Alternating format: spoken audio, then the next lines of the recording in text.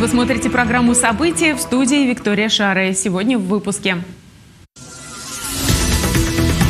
Снегоуборочные машины, тракторы, агрегаты для очистки пешеходных зон и дорожек. На площади Куйбышева прошел традиционный смотр коммунальной техники. Госдума приняла в первом чтении законопроект об установлении минимального размера оплаты труда. Сколько составит прибавка? Они не потеряются в океане информации, а их тексты хочется перечитывать. В Самарской публичной библиотеке наградили победителей 10-го творческого конкурса имени Эдуарда Кондратова. 130 финалистов в возрасте от 7 до 18 лет. В Самарском дворце детского и юношеского творчества состоялся финал регионального конкурса, посвященного Параду памяти. В Самаре может появиться второй пассажирский аэропорт «Безымянка». Сегодня губернатор Дмитрий Азаров обсудил вопросы комплексного развития территории с потенциальными инвесторами, которые совместно с собственниками объекта предлагают модернизировать и построить новую современную инфраструктуру для приема воздушных судов гражданской авиации. Действующая аэродромная инфраструктура примыкает к территории завода «Авиакор», который занимается капитальным ремонтом и техническим обслуживанием различных типов самолетов. В разработанной концепции акцент делается на привлечении компаний компаний лоукостеров, для которых близость аэропорта к городу и его транспортной инфраструктуре может быть серьезным фактором привлечения пассажиров и бизнес-авиации, а также на развитие межрегиональных перевозок. Таким образом, при успешной реализации проекта потоки людей можно будет разделить с действующим международным аэропортом Курумыч. Коммунальная техника готова к обслуживанию Самары зимой. На площади Куйбышева утром прошел традиционный смотр автомобилей. Глава города Елена Лапушкина, первый вице-мэр Владимир Василенко и руководитель Департамента городского хозяйства и экологии Александр Андреянов также оценили готовность к зимнему сезону персонала муниципальных предприятий и других компаний коммунальной сферы. Кто будет спасать Самару от снега и льда, узнал Михаил Ермоленко. Снегоуборочные машины, тракторы, агрегаты для очистки пешеходных зон и дорожек. На площади Куйбышева представлена лишь малая часть техники, которая поможет специалистам коммунального хозяйства справиться с непогодой этой зимой. Всего в предстоящем сезоне на улице города выйдут порядка 730 единиц техники. Сейчас мы все в готовности, идет закупка противогололедных материалов, готовятся снежные площадки для приема снега, поэтому город во всеоружии. Специалистам предстоит работать не только в условиях непогоды, но и заниматься каждодневной уборкой территории города. Для этого за последние два года автопарк пополнили 82 единицы новой современной спецтехники. В числе ее преимуществ – всесезонные характеристики. Такие агрегаты работают летом, осенью и весной, меняется только оснащение. В частности, к этому сезону закупили новые илососы для откачки воды и небольшие маневренные аппараты для уборки пешеходных зон Самары. Этому будут уделять большее внимание, исходя из опыта прошлых лет. А где нужна будет тяжелая тяжелая артиллерия, на сцену выйдет такая спецтехника. Проверяем машины, выстраиваемся и поехали убираться. Если снег еще пойдет, то мы еще пойдем чистить. Мы справимся, я думаю. Мы всегда справлялись, хоть какие условия не были. Переходный период заканчивается и с 1 ноября начинается зимний сезон. Он продлится до 15 апреля. Но, как отметил специалист профильного департамента, техника сможет выйти на улицы города и раньше начала ноября. Ориентироваться будут на погодные условия. Михаил Ермоленко, Николай Епифанов. События. Праздник для тех, кто садится за руль по долгу службы. Транспортное подразделение энергокомпании Т+, поздравило своих сотрудников с наступающим днем автомобилиста. Лучшие водители получили грамоты и денежные премии. Подробности в сюжете Ксении Бакановой. Илья Савельев – машинист автомобильного крана. Рассказывает, трудится на этой должности уже 7 лет. Интерес к профессии не угасает. Свои обязанности мужчина знает наизусть. Илья уверен, старания обязательно ведут к успеху. А особенно приятно, когда руководство их замечает и поощряет. Мы приходим на работу, получаем путевой лист, получаем задание э, и едешь его выполняешь. Вот. Какие-то есть свои нюансы, сложности. Но в целом все прекрасно. Есть такая профессия – давать людям тепло. Всего в преддверии профессионального праздника Дня автомобилиста почетными грамотами отметили 35 сотрудников. Это водители и работники авторемонтной мастерской. Каждый из них внес свой вклад в работу энергокомпании Т+, и обеспечение надежного теплоснабжения жителей региона. Лучших отмечаем. Тот, кто безаварийно осуществляет свою деятельность и без нарушений внутренних распорядков. Данный повод очень приятный. Организация обеспечивает автотранспортные перевозки, подъемные дорожно-строительные работы на электростанциях и тепловых сетях в Самарской и Ульяновской областях. На ее территории трудятся 698 человек. Ксения Баканова, Григорий Плешаков. События. Они не потеряются в океане информации, а их тексты хочется перечитывать. В Самарской публичной библиотеке наградили победителей 10-го творческого конкурса имени Эдуарда Кондратова. В 2023 году исполняется 90 лет со дня рождения известного журналиста, писателя, поэта и драматурга. На суд жюри было представлено около 70 работ. С авторами лучших пообщалась Ксения Баканова. Лезьте на рожон, расшивайте башки. Башки ради правды. Если ее чувствуете, ошибаетесь, добиваетесь. Искренняя улыбка, блеск в глазах и горячее желание постигать азы профессии. Эти ребята уверены, журналистики, как любви, все возрасты покорны. Они крепко держат в руках микрофон и умеют работать с камерой. Для учеников объединенной телестудии воспитанников детских домов «Майош ТВ» этот день особенный, ведь они стали победителями 10-го творческого конкурса имени Эдуарда Кондратова в номинации «Школьники». На суд жюри ребята представили интервью с участием Александра Завального, главного библиографа Самарской области.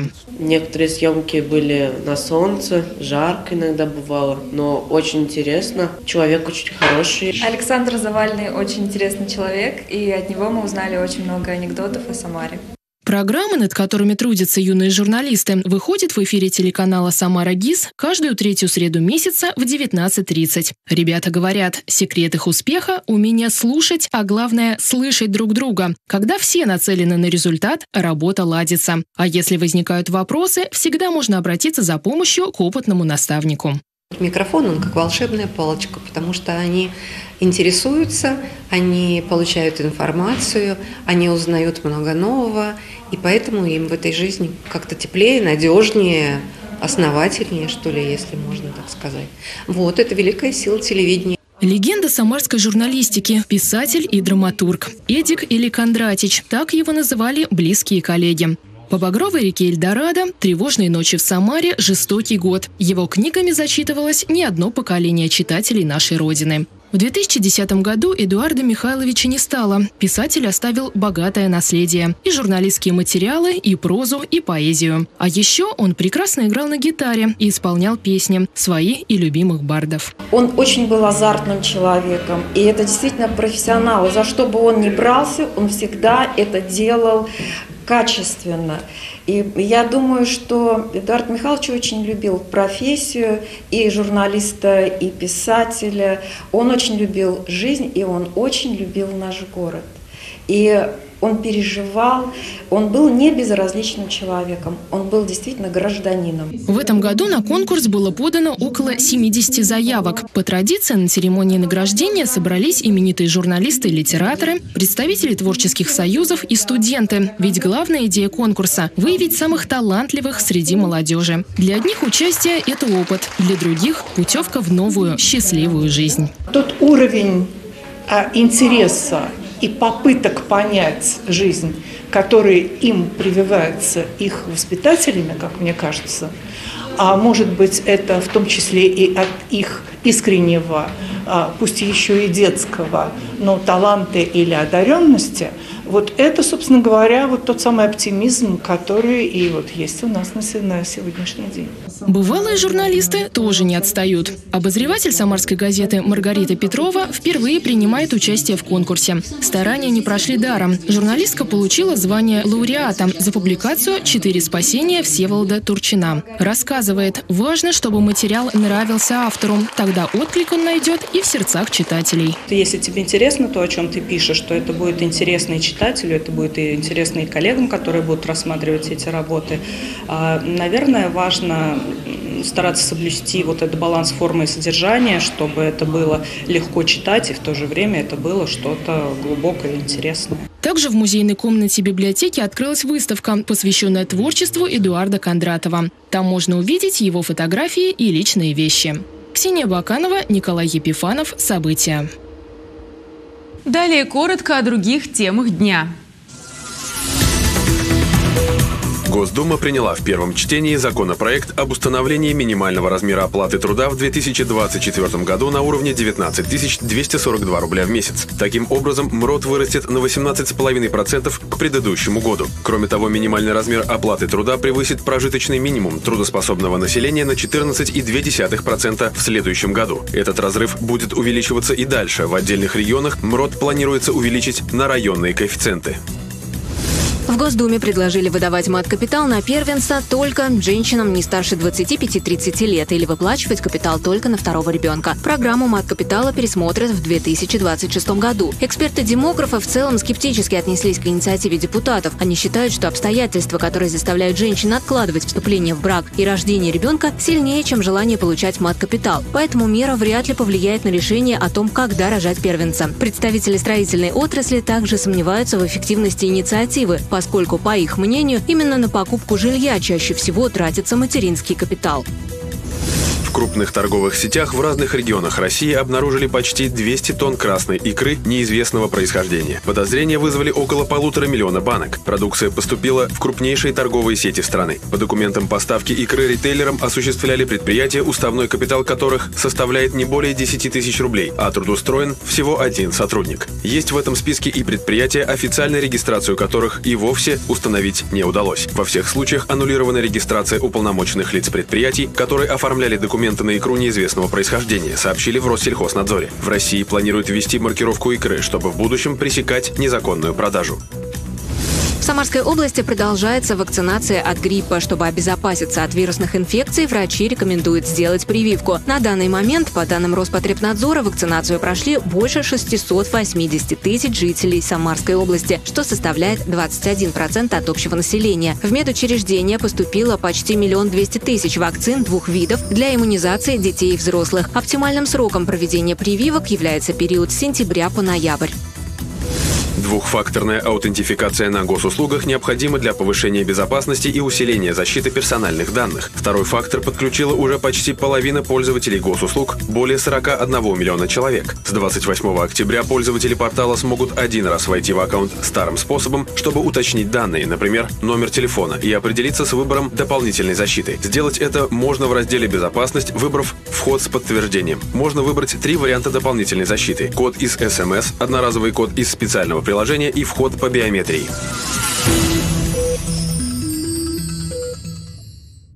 В Самарском дворце детского и юношеского творчества состоялся финал регионального конкурса, посвященного параду памяти 7 ноября 1941 года в Куйбышеве. Дети и подростки представили свое осмысление важности этого события.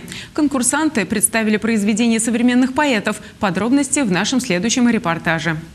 Ваш долг в тылу, как подвиг ратный, страной отмечен орденами.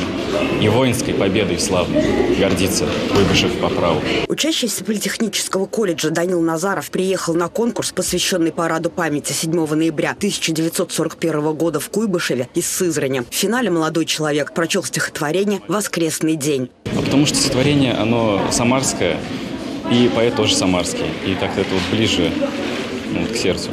Всего в конкурсе приняли участие более пяти тысяч человек из разных городов и районов области. В финал вышли 130 юных участников агитбригад, театральных коллективов и чтецов в возрасте от 7 до 18 лет. Здесь э, ребята не только слушают то, да, о чем им могут рассказать взрослые, а и те единицы людей, которые были очевидцами событий.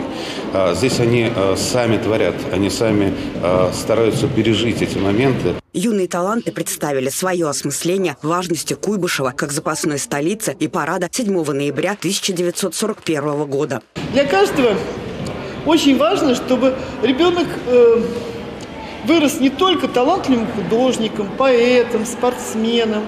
Нам важно, чтобы он вырос настоящим гражданином, чтобы он хотел связать свою будущую жизнь, свое будущее с нашей страной. Подобные конкурсы в Самарском дворце детского и юношеского творчества проводятся со дня первого парада памяти. Светлана Тимофеева, Николай Сидоров. События. Узнать, какая профессия тебе подходит. В молодежном центре «Самарский» проходит серия мастер-классов и семинаров по профориентации.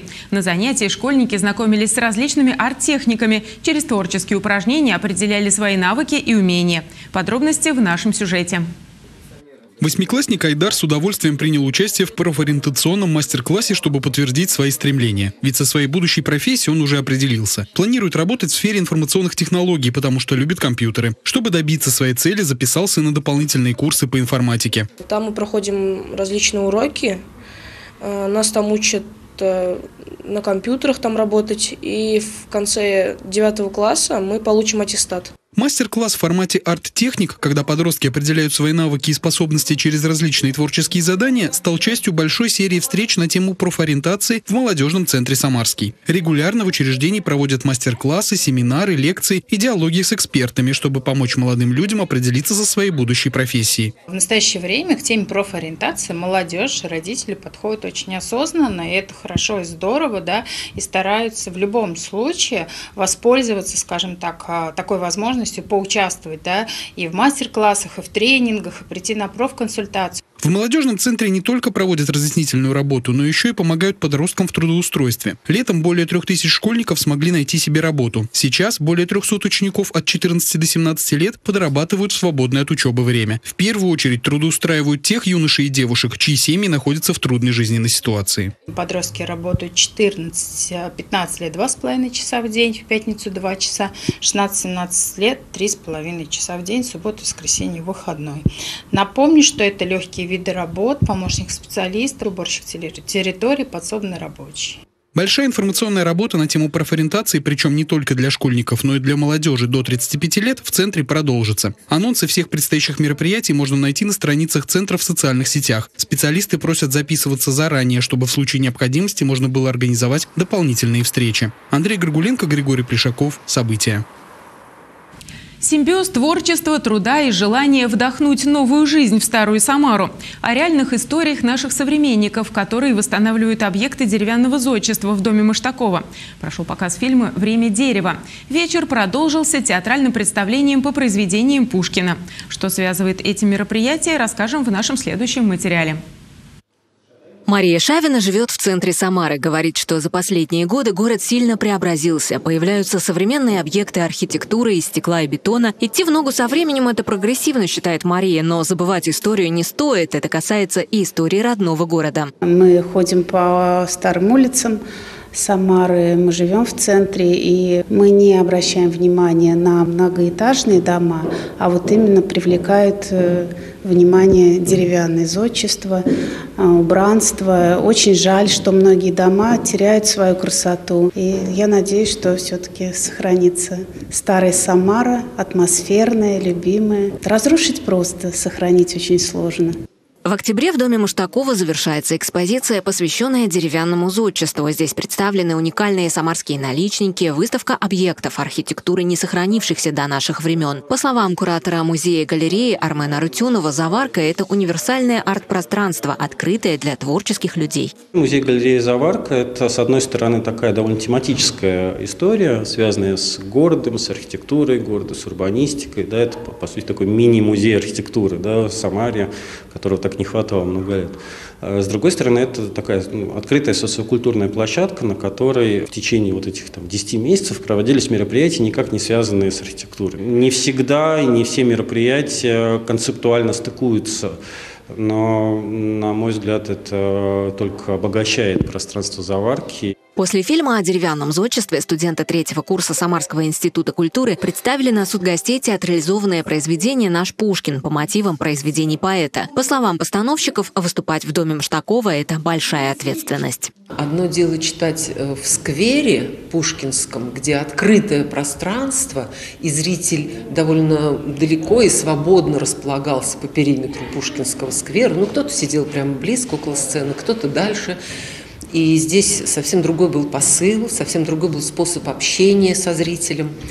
А такая камерность, она предполагает и иную пристройку к зрителю. После завершения проекта о деревянном зодчестве музей-галерея «Заварка» продолжит работу в качестве филиала музея Эльдара Рязанова. Светлана Кудрявцева, Галина Топилина, Константин Головин. События. Аида Макбет Корсар, итальянский композитор Джузеппе Верде за свою жизнь создал 26 опер, которые входят в репертуар многих театров мира. К 200-летию композитора у самарцев появилась возможность больше узнать о его творчестве. Подробности в сюжете Галины Топилиной.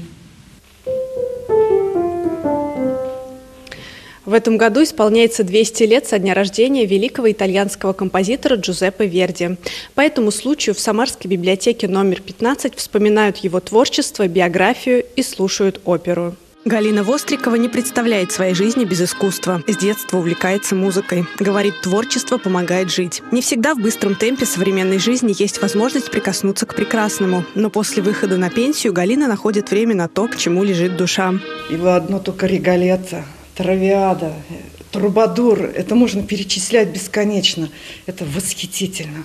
Это просто надо слышать и уметь слушать и черпать оттуда великое таинство музыки. 2023 год объявлен Министерством культуры годом музыки. По этому случаю в библиотеке проходит выставка, посвященная композиторам. На регулярной основе читатели библиотеки собираются на музыкальный час, чтобы познакомиться с творчеством и судьбой известных композиторов. В ноябре запланировано проведение еще одной музыкальной встречи, завершающей в этом году. Главным героем станет советский композитор Тихон Хренников. Библиотека – это не только хранилище книг, когда можно прийти, выбрать книгу любимого автора, но библиотека – это центр досуга, культурный центр. Поэтому для своих читателей мы готовим мероприятия, связаны и с их запросами, и с тем, что важно в нашей стране. 4 ноября библиотека присоединится к всероссийской акции «Ночь искусства». Анонсируется работа музыкальных танцевальных площадок, мастер-классы от художников и другие активности. Галина Топилина, Сергей Баскин. События. Интерес россиян к путешествиям на Шри-Ланку вырос в четыре раза после объявления об отмене платы за визу для российских туристов. Это выяснили аналитики сервиса Яндекс Путешествия. Средняя цена авиабилета туда-обратно в этом году составляет 66 тысяч рублей. Как правило, туры покупают за полтора месяца до путешествия. В среднем поездку планируют на 16 дней. В ноябре самый бюджетный вариант проживания можно найти в центре острова без выхода к морю – 977 рублей за ночь. Стоимость недорогого отеля на побережье начинается от 1000 1095 рублей. Цены в отеле 5 звезд стартуют от 7308 рублей за ночь. Далее вас ждет обзор телеграм-каналов, городской администрации и профильных ведомств. Вот о чем мне писали сегодня на своих информационных площадках.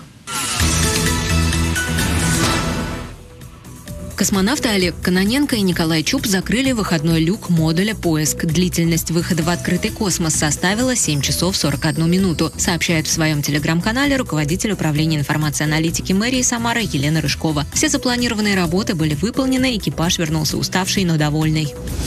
Учебный центр ТТУ приглашает получить профессии водителя, трамвая и троллейбуса, сообщает телеграм-канал городской администрации «Вести с Дворянской». После успешного окончания курса выпускники учебного центра при трудоустройстве получат единовременную выплату в размере 100 тысяч рублей. Трамвайно-троллейбусное управление гарантирует стипендию на время обучения и конкурентную заработную плату, полный соцпакет, возможность выбора рабочего графика, бесплатный проезд, а также общежитие. Кроме того, для работы в трамваях и троллейбусах требуются кондукторы. Узнать по Подробнее о вакансиях, а также задать вопросы можно по телефонам.